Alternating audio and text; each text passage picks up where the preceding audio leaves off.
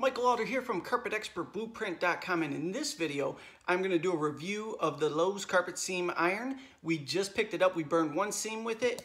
It is smoking like crazy right now. Look at that bad boy just delivering the smoke. But I'm going to do a little uh, doorway seam with it, give you my feedback on it and see if it's the right investment for you.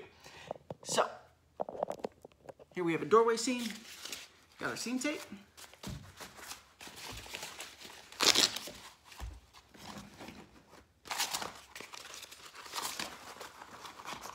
Place the seam tape halfway under the seam. For you DIY types that might be new to this, boom, we're good to go.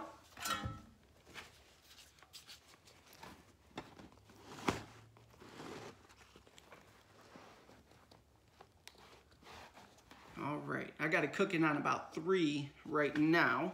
Had it at four, it starts smoking pretty heavily, and that's where I usually burn my seams at four, but you gotta move fast with it. So if you're new, you probably wanna have your iron set at about two, two and a half.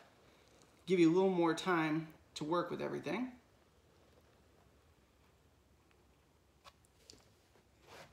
So, so far everything performs just fine. It does have a cord on it that is very similar to the Harbor Freight seam iron cord, and I'll pick up one of those and do a review of that as well.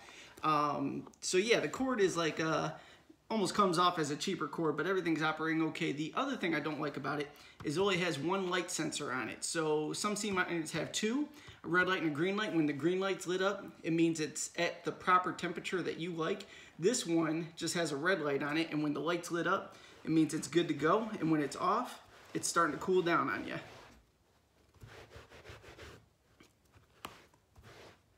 But overall, operating okay.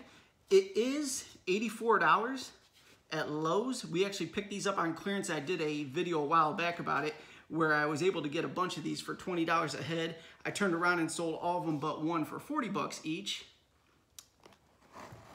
Make a little money on it and get a seam iron for free. But seeing as it seems very comparable to the Harbor Freight one, those are like $45. And like I said, I'll pick one of those up. I'll shoot a video of it so you could, uh, you know, share my feedback and you can get an idea what's gonna be the best fit for you and see where you should invest your money in irons. Overall, operated just fine at $84. No special deal, all of them cost $84. So, if you wanna get in on the DIY Toolkit giveaway, click the link below, tap the subscribe button, stop by CarpetExpertBlueprint.com. Every week we pick a random subscriber and send them some goodies. Thank you so much for tuning in. I'll catch you on the next video.